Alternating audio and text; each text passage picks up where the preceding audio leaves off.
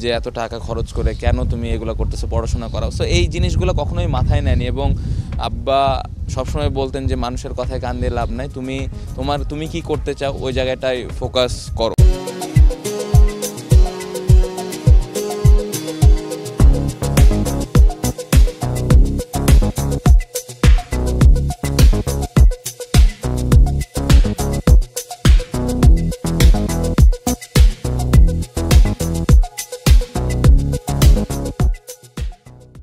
ছোটবেলা আমরা জানি বাবা মার একটা বড় রোল থাকে।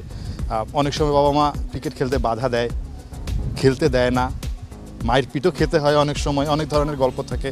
মানে আপনার আসলে ফ্যামিলির দিক থেকে সাপোর্টটা কেমন ছিল বা আসলে কতটুকু কষ্ট করতে হয়েছে ছোটবেলা? অনেক দূর থেকে প্র্যাকটিসে আসা লাগতো অলমোস্ট বাইশ কিলোমিটারের পথ। সো ওই সময়টা অনেক অনেক স্ট্রাগল করেছি এবং সব থেকে বড় যেই কষ্টটা করেছে আমার বাবা মা। প্রথমে সাইকেল নিয়ে আসতাম তারপরে একটা জায়গায় সাইকেল রেখে তারপর ওখান থেকে বাস নিতাম। বাস নেওয়ার পরে একটা অটো নিতাম অটো নেওয়ার পরে একটু হেঁটে তারপরে আমি মাঠে পৌঁছাতাম।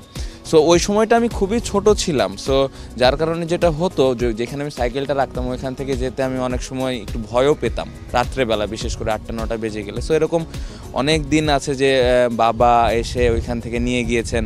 শান্ত, এই যে কষ্ট করলেন কিংবা তারাও কষ্ট করল, যখন একটা রেজাল্ট পাওয়া গেল, নাজমুল হোসেন শান্তর গায়ে যখন ন্যাশনাল টিমের জার্সি লাগল, তখন তাদের আসলে আনন্দটা কেমন ছিল? মনে পড়ে কিনা প্রথম কল পাওয়ার পর বাবা মার আনন্দটা আসলে কতটুকু ছিল?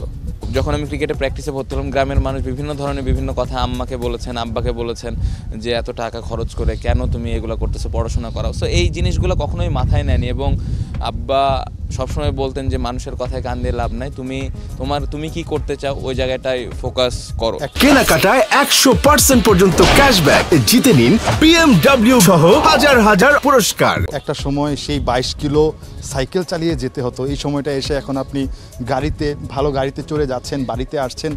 সেটা আসলে নিশ্চয়ই বাবা মাকে অনেক বেশি স্পর্শ করে। অবশ্যই তাদের তো ভালো লাগা কাজ করে একটা একটা সময় সাইকেল নিয়ে, তারপর হয়তো কিছুদিন মোটরসাইকেল নিয়ে। এভাবেই আসলে শুরুটা ছিল।